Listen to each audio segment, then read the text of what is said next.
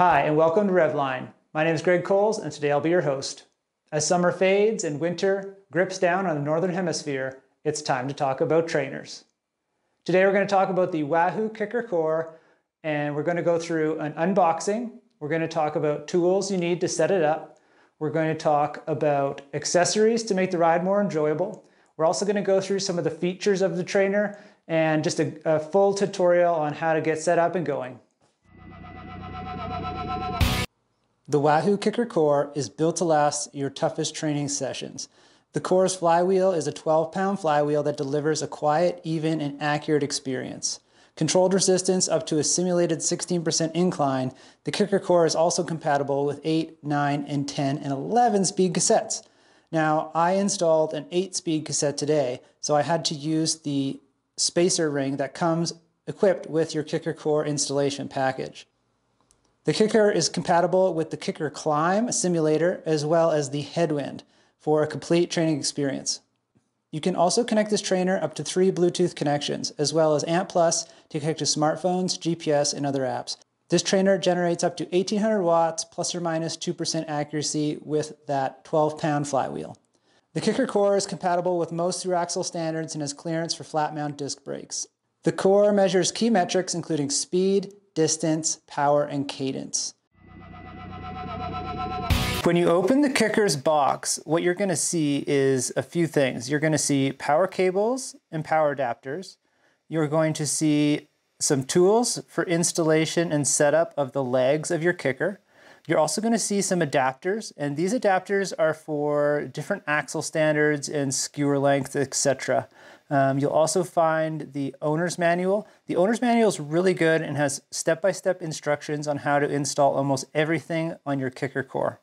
As you can see, the legs come detached from the Kickr. And like I mentioned in the previous picture, there is a tool and bolts to assemble these legs. Once you have your Kickr completely assembled and it's time to install the cassette, you're gonna need a couple things. You're gonna need a wrench and you're gonna need a cassette tool. A cassette tool is a little spline piece that basically removes the little locking nut that holds your cassette onto your bike. As I mentioned, the core comes with many adapters to help install your skewer. Consult the owner's manual and your bike's owner's manual to figure out which ones you need to install your bike onto the core. Once everything's attached and ready to go, you simply put your bike on the Kickr like you would install your rear wheel. Now all that's left to do is calibrate and set up your trainer. To do this, you have to download the Wahoo app. Once you have the app, connect the trainer via Bluetooth or ANT Plus and simply follow the step-by-step -step directions. There's buttons that tell you to add a sensor, and once the sensor is added, you have to calibrate your trainer. It's called a spin down. To do this, you basically spin the trainer up to the prescribed speed and let the trainer do the work. Now before you start training on your Wahoo Kickr Core, you're going to want a few accessories to make the ride a little bit more enjoyable. Because riding indoors, you sweat a lot more than outside, I recommend some sort of hydration, uh, whether it's an electrolyte uh, mix like this one or a tablet uh, to add to your water. You're also going to want to drink a bit more when you ride inside, maybe a bottle every 45 minutes uh, as opposed to a, a bottle an hour.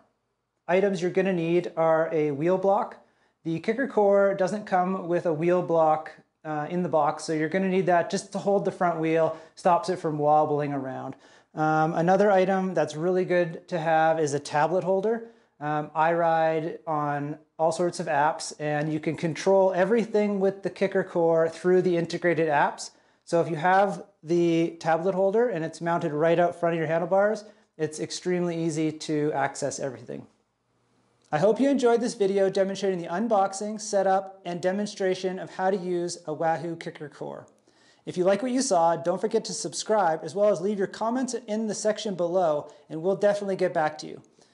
If you're interested in ordering any of the products you saw here today, don't forget to check out thebikeshop.com for all your cycling needs. When you subscribe to Revline, you'll get the latest tech and product videos in the cycling industry. Also, when we make our videos, we'll send out promotional codes for products that you can order from thebikeshop.com.